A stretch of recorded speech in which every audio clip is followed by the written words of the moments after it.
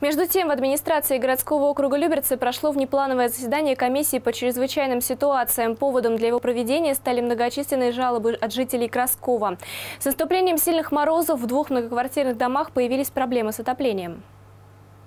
Заседание КЧС провел глава городского округа Владимир Ужицкий. О критической ситуации, которая сложилась в поселке Коренева, доложил директор Люберецкой теплосети Владимир Русанов. По его словам, в домах номер 78 и 80 по улице Железнодорожная температура воздуха в квартирах снизилась до 18 градусов. Жалобы от людей стали поступать с 25 февраля. Ситуацию взял под личный контроль глава округа. Он дал поручение соответствующим службам заняться устранением проблемы. Луиза Игязарян, Дмитрий Родзянко, телеканал канал ЛРТ.